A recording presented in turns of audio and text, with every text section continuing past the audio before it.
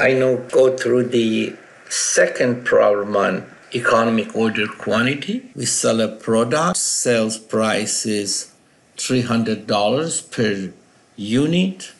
The demand is 30 units of product per week.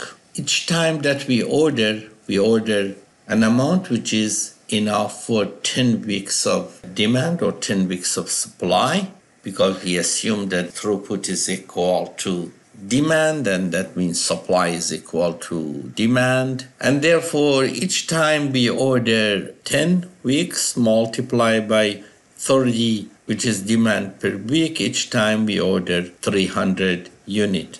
That is q. We assume 50 weeks per year. Ordering cost s is equal to 225 purchase price for each unit of product is 150 and carrying cost is 20% of 150 per unit of product per year therefore that is 0.2 multiplied by 150 that is 30 dollars per unit per year and that is h. If I divide this one by 12, just for example, if I divide it by 12, h would be 2.5 dollars per month. What am I trying to say is in EOQ formula, if you put demand per year, then you put h per year.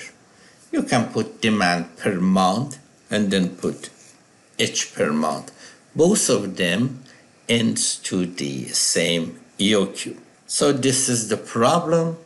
Flow unit is one dress. Demand or throughput is equal to 30 units per week, 50 weeks per year. Each time we order demand for 10 weeks, which is 300 units. Q is 30 times 10, 300. And demand per year, 30 times 50 is equal to 1500. Fixed cost of each order is 225. Unit cost is 150. Carrying cost is 20% of 150, which is 30.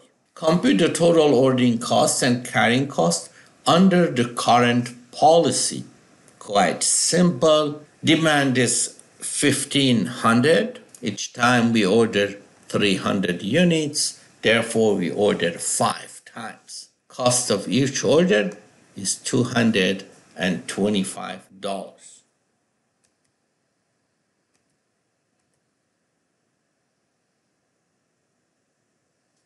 Therefore, total ordering cost, ordering cost is equal to $1,125. Now we need to compute carrying cost. Average inventory is 300 divided by 2. Carrying cost per unit of product is 30. Inventory, H per unit of product per year, and that would lead to carrying cost of 4500 ordering cost is about $1000 carrying cost is about $4000 now my question for you my friends is is 300 greater than EOQ or less than EOQ? What is the relationship between 300 and EOQ if total ordering cost is about $1,000 and total carrying cost is about 4000 Is EOQ greater than 300 or less than? We said we have two costs. This is quantity this is cost. As we know, ordering cost is like this. As quantity goes up, cost comes down. This is ordering cost. On the other side, carrying cost is like this. As quantity goes up, carrying cost goes up. Now in this problem, when we order 300, where are we? Are we here or we are over there? If you are here, then EOQ is less than 300. If you are here, then EOQ is greater than 300. Let's see where are we. When we did our computations, ordering cost came out about 1000. About. Carrying cost came out about 4000.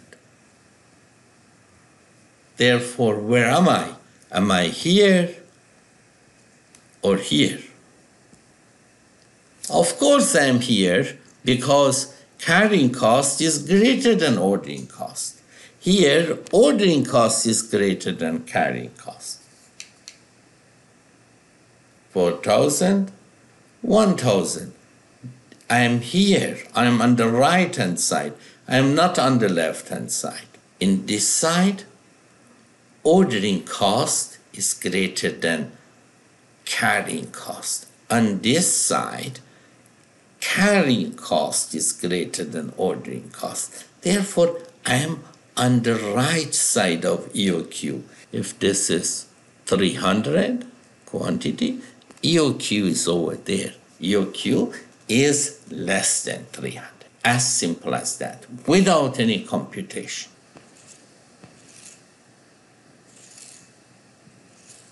When carrying cost is greater than ordering cost M to the right of EOQ because EOQ is here.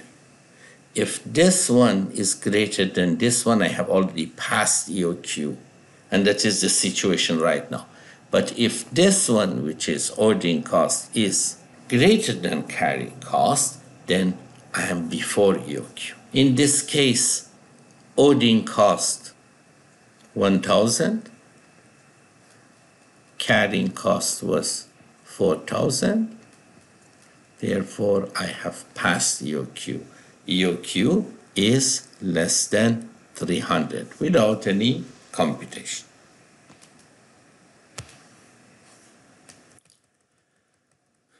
And total cost when I add those numbers together is 5600 compute the flow time each time I order 300, it goes to 300, comes down 300, comes down 300, comes down. Therefore, on average, I have 300 divided by 2. That is my average inventory. Throughput, we said this is 30 units per week. Therefore, throughput times flow time is equal to inventory. 30 times flow time is 150 and t is equal to 5 5 weeks. Why it is 5 weeks? Because this 30 is in terms of weeks. But we really did not need this computation because the problem by itself says each time we order 10 weeks of supply. When the order arrives the first item will go out immediately. And this cycle is 10 weeks because I ordered demand for 10 weeks. Therefore, the last item will go out after 10 weeks. 0 weeks plus 10 weeks divided by 2. Therefore, flow time is 5 weeks, and that is how I get it also using the Little's law. What is the average inventory and inventory turn? You should be able to answer this question in a minute or two. Average inventory, we order for 10 weeks, we order 300, we have 300, goes to zero, so the answer is 150. Inventory turn is equal to demand divided by average inventory. Demand is 1500 average inventory is 150. If we divide them by each other, we get 10.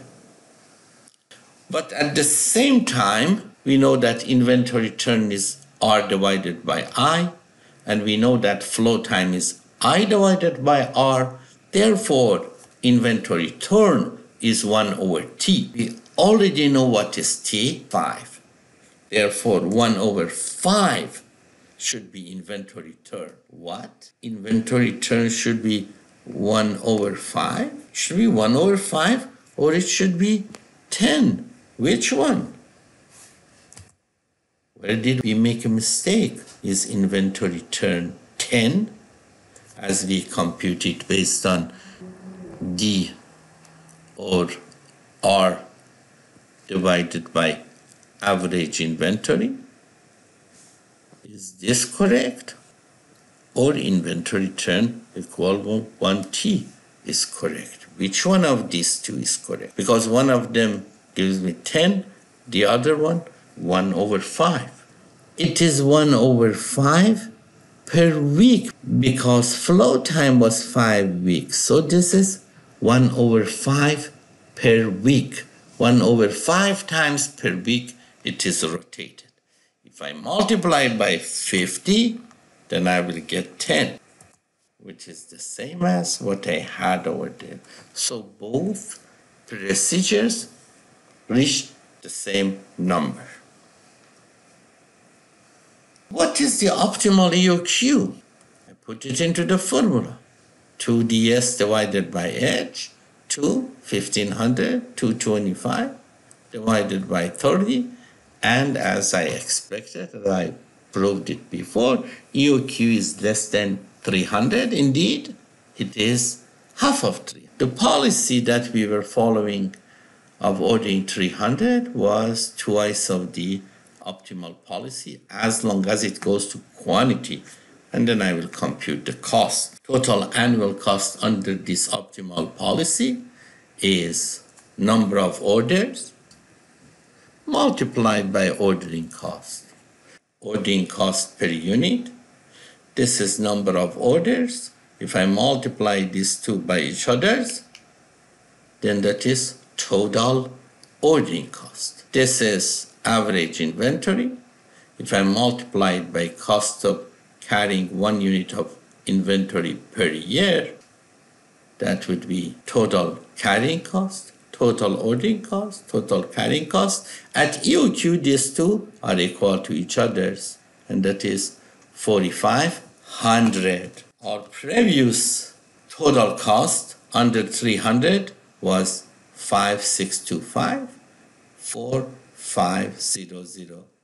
And therefore, by ordering EOQ, I was able to reduce my total cost by $1,125, which is almost 20%. Thank you for